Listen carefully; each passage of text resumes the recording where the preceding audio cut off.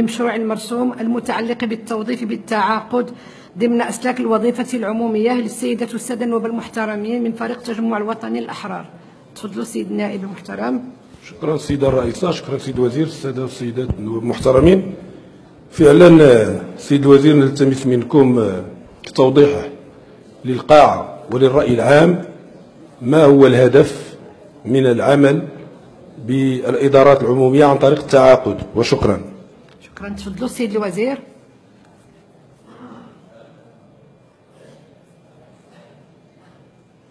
شكرا السيدة الرئيسة في إطار الإصلاح الإداري هذا ورش كبير.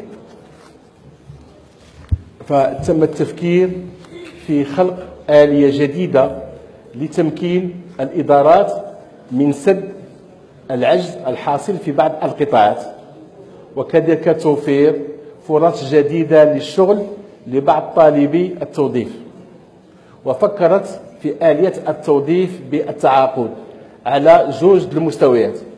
مستوى الخبراء وهو يهم فئة معينة من الكفاءات التي توظف لمدة معينة من أجل عمل معين وخبرة معينة ودراسة معينة وعمل ليس للإدارة الحالية الآليات والإمكانيات باش تقوم به. والنقطة الثانية هو التقاعد الوظيفي يعني جميع الوظائف يمكن اليوم إلى جانب التوظيف الحالي الذي سيستمر. فهل هناك توظيف إضافي بواسطة التعاقد بطريقة سلسة ومبسطة وستوفر الشغل لطالبيه وتوفر للإدارة إمكانية كذلك الاستفادة من بعض الخدمات بطريقة ميسرة.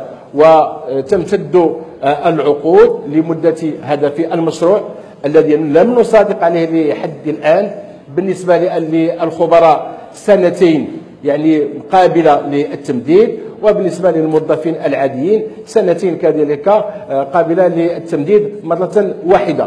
وستحدد أجور سواء الخبراء أو الموظفين العاديين بمنشور وبقرار لوزير الوظيفة العمومية ووزير المالية.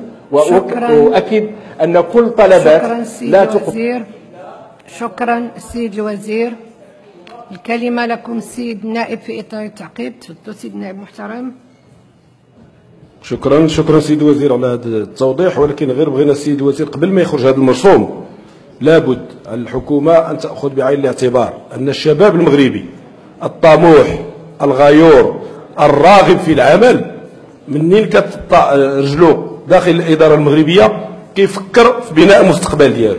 فما كتشوفوش سيد الوزير أن العمل بالتقاعد لمدة سنتين أو التمديد مرة واحدة سنتين أخرى هذا غادي يكون واحد واحد العبء على هذا الشاب اللي بنى حياته على هذيك الراتب الشهري اللي كان كيتقاضاه. بنى مستقبله على ذاك الراتب الشهري اللي كان كيتقاضاه. دخل إلى قروض من أجل توفير سكن أو غير ذلك.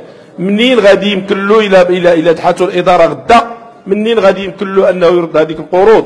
ومن وغدا كذلك.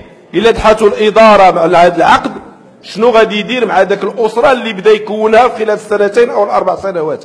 فلهذا السيد الوزير حنا كنلتمسوا أن هذا هذا الإجراء. حنا كنحبدوه ولكن لا بد من من دراسته من كل الجوانب حتى لا يمس في كرامة الراغبين في الشغل خاصة الشباب المغربي وشكرا سيد الوزير.